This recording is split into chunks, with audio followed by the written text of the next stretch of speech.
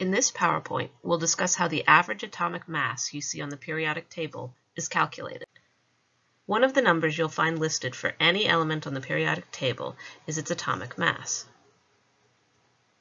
It's very important to know that this is not the same as the mass number that we discussed with atomic notation. Mass number is simply a whole number approximation of an individual isotope mass based on the number of protons and neutrons in the atom. The atomic masses that you see on the periodic table are usually not whole numbers, and they represent the average of the actual masses of all the stable isotopes of the element. So let's look at an example of this with the element potassium. Potassium has three stable isotopes, potassium-39, potassium-40, and potassium-41. And here's the atomic notation for each of those. Now each isotope has the same number of protons, of course, since they're all potassium, but they have different numbers of neutrons giving them different mass numbers. Really, the mass number just helps us distinguish between the different isotopes more easily. That's it. It doesn't tell us the true mass of that isotope. The true mass in units of AMU are close to those numbers, but not quite. For example, the true mass of an, an atom of potassium-39 isotope actually has a mass of 38.9637 AMU. And we get similar patterns for potassium-40 and potassium-41. It also turns out that each of those isotopes is present in different amounts on Earth. Uh, for the for all the potassium that you'll find on Earth, about 93% of it is actually potassium-39, and only a little over 0.01% is the potassium-40 isotope. So it makes sense when we average together those masses that our average is actually going to be closest to potassium-39 rather than potassium-40. And the way that we achieve this is by calculating what we call a weighted average. So here's the weighted average formula for calculating atomic mass. It's the sum of a series of terms.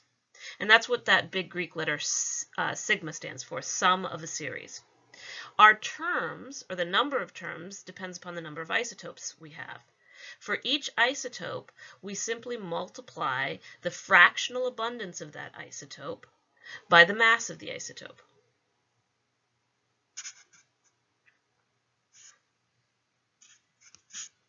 So for example, since we have three isotopes of potassium here, we're going to have three different terms in our atomic mass calculation.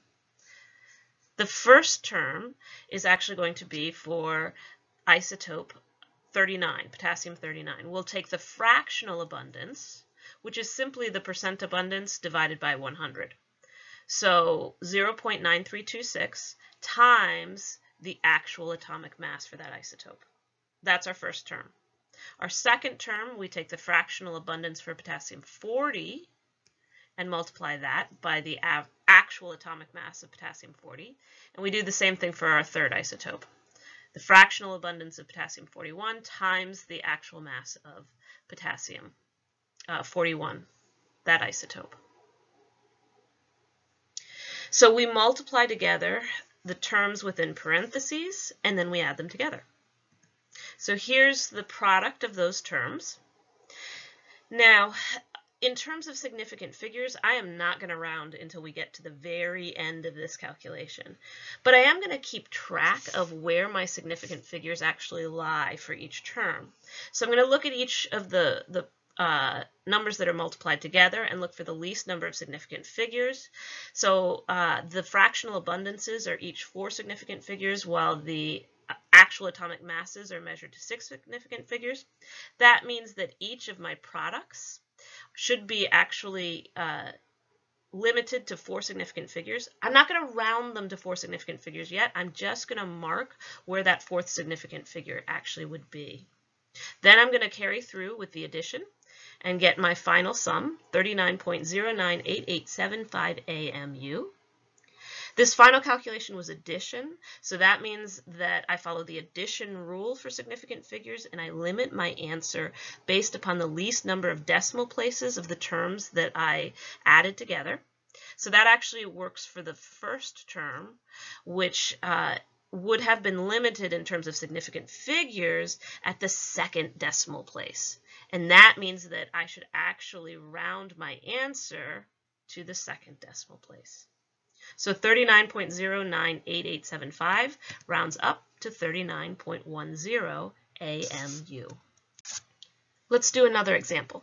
Here we'll calculate the atomic mass of chlorine, given that it has two isotopes, chlorine 35 and chlorine 37. So this means that we're going to have two terms in our weighted average formula. So we can calculate the fractional abundance as the percent abundance divided by 100, but we have a problem. We're actually only given 1% abundance in this problem. We don't have anything in terms of abundance for chlorine 37. So how do we figure this out? Well, remember that we only have two isotopes. And percentages have to add up to 100 for the whole, or if it's a fractional abundance, it has to add up to a total of 1.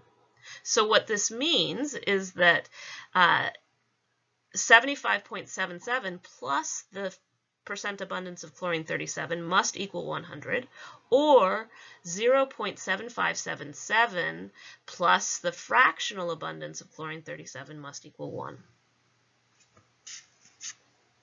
So we can actually calculate the fractional abundance of chlorine 37 as 1 minus 0.7577 or 0.2423. And now we can proceed with our calculation. Our first term is the fractional abundance of chlorine 35 times its atomic mass. Second term is the fractional abundance of chlorine 37 times its atomic mass. I go ahead and do the multiplication for each term. Again, for significant figures, I'm not going to round until the very end, but I am going to figure out where my significant figures should end for each product. So again, I'm going to be limited by the fractional abundances, which have four significant figures. That's my least amount. So I mark where they would lie on those terms. I don't round yet. I go ahead and do the addition. Again, my last step is addition, so I need to round my final answer to the least number of decimal places according to the addition rule. I use where my significant figures lie or were marked as my guide to figuring out the least number of decimal places. And the first term actually has the least number of decimal places. That significant figure mark lies at the second place, which means I have to round my answer to two places past the decimal, and that gives me 35.45 AMU. So to summarize, the atomic mass in the periodic table is not the same as mass number. It's a weighted average of each of the actual masses of each of an element's stable isotope. Each isotope mass is weighted by the fractional abundance of that isotope. And the fractional abundance of all of those isotopes should add up to 1.